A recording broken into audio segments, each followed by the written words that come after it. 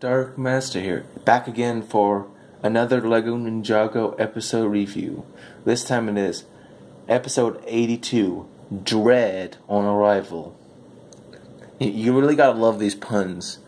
Anyway, the episode starts off with Harumi taking Lloyd captive and putting him in a cage, where it's revealed that she burned down the temple to reveal the temple of resurrection.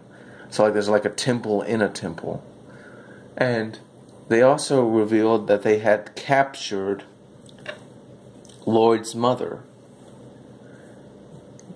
Of course, it's kind of out of left field really, but and it turns out she was the reason they were after, you know, Baby Wu. Apparently Misako had found him before they did. Of course, you know, the ninja interfered in that.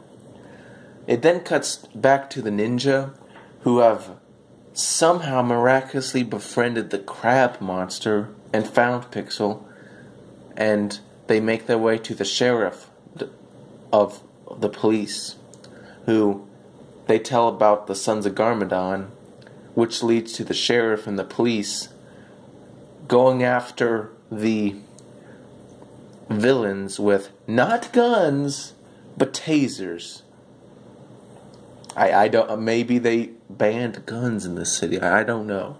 Anyway, the sheriff and his police, you know, posse managed to distract the lesser members of the Sons of Garmadon, while the ninja sneak their way into the headquarters.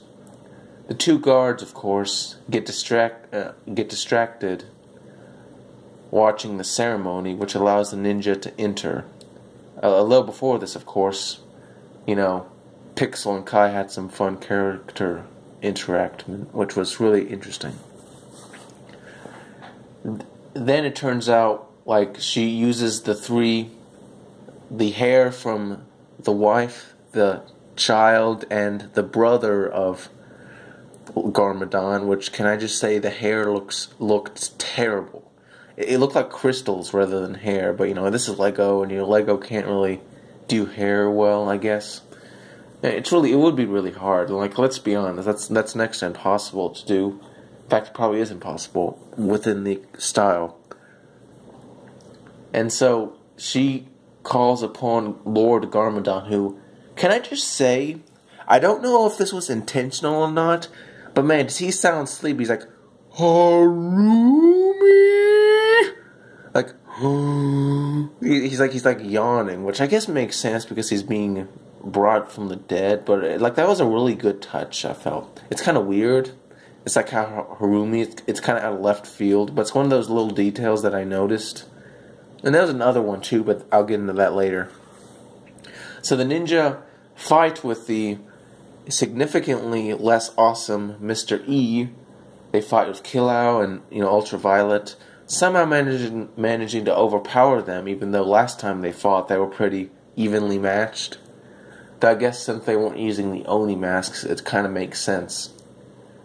Anyway, Lloyd tries to get to Harumi, but the wind is apparently too strong around the portal, which makes like a which kind of weird.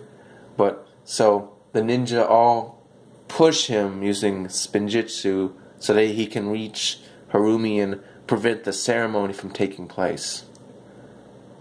And and let's just say Lloyd, man, he's been through it rough these last two episodes. Like he went from a cheery-go-lucky guy to a, you know, jaded, a I don't believe the best in anyone anymore kind of. But that gets more at the end. Anyway, the police arrest Harumi, and a little detail I liked is how it took like five people to weigh down. Like like just for the record, a regular minifigure is about the size in universe as a regular person. So just imagine a guy so big that it takes like five police officers to hold him down. And then that guy must be freaking huge. But anyway, so the ninja succeeded in quote unquote stopping the ceremony, but then at the end it's like da da da the Garmadon is alive. He he he his hand bursts through the altar the same way the 2015 Skull Army did. Hmm.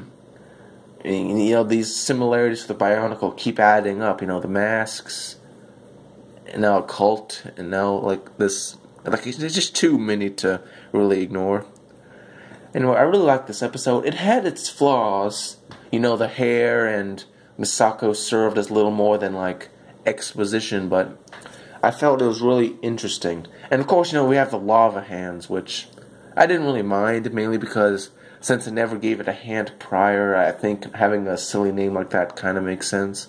I mean, what else would you call it? If I if I saw someone whose hands were glowing that could melt, I'd call them lava hands. So it's not like some weird out of left field thing, like the hair or the you know ending twist. So yeah, and another part I like is where Harumi tries like one last time. I, I don't really know if Harumi's being sincere or not. I mean, she really sounds like it. Maybe I'm just a fool, a hopeless fool. But she genuinely did kind of sound like regretful. But Lloyd's like, save it for someone who cares. And, you know, at least he learns from his mistakes. Anyway, this has been The Dark Master. And I can't wait for episode 83. This is the first time I've ever been able to review two episodes in a row, and I really hope I could maybe do this in the future. Of course. Anyway, this has been The Dark Master. Remember to like, favorite, and subscribe for more LEGO reviews. Have a nice day.